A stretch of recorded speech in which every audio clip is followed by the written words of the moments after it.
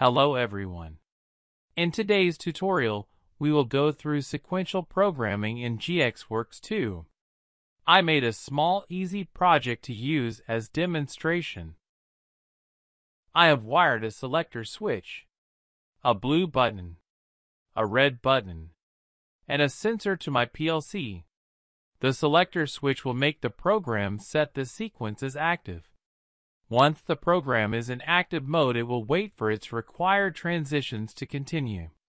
For example, to complete step 1, it will require me to press my blue button and it will then go to the next step.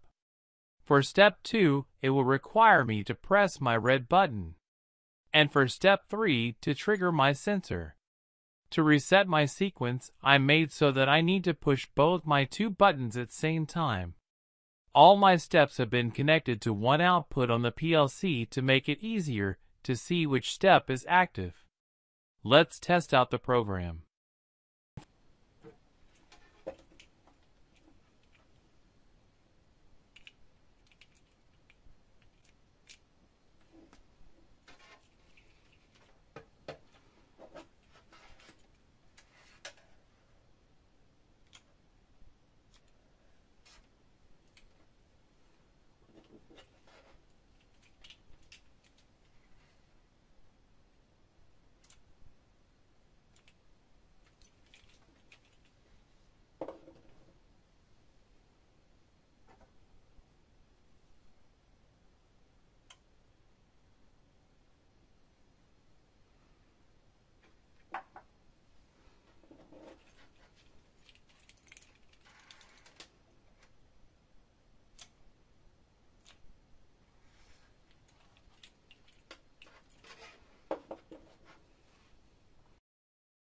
Thank you for watching this tutorial.